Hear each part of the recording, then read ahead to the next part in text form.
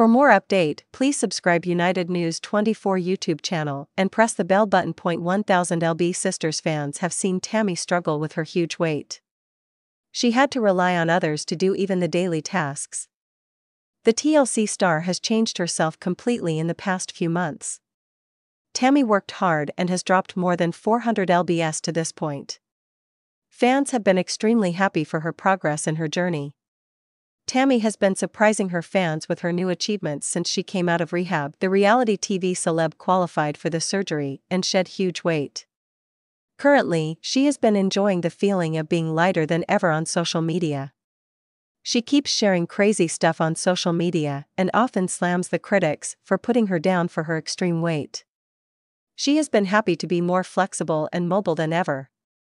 Fans have seen a drastic change in her mobility after the latest posts. Tammy Slaton has become a new version of herself after losing weight. She had to depend on a nasal cannula and wheelchair to roam around and breathe.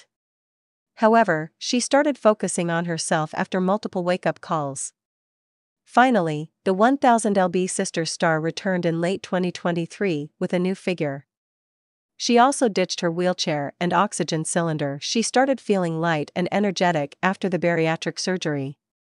Fans have been happy to see Tammy reaching new milestones and moving closer to her goals. She started using social media to build a bond with her audience and show off her new achievements. Now, she has also been planning to become a model for the plus size community. Slaton started looking slimmer with every new post, and now it looks like she has a new interest. Tammy has been slowly revealing her dance skills with new videos. Recently, she posted a short clip of her dance moves on TikTok. 1000 LB Sisters fans were amazed to see her mobility while twerking on the popular song and dancing around.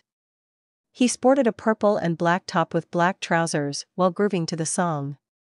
Moreover, the reality TV celeb also flaunted her twerking skills and enjoyed every moment of the dancing. She had a big smile on her face, and her on point dance moves were a sign of her pro dancing skills. The TLC star's followers gushed over her in the comment section over her achievement. One fan said, You look great, Tammy. Keep on dancing. Meanwhile, the others were proud of her for coming a long way. 1000 LB sister star Tammy Slaton has been pushing her boundaries to reach her goals.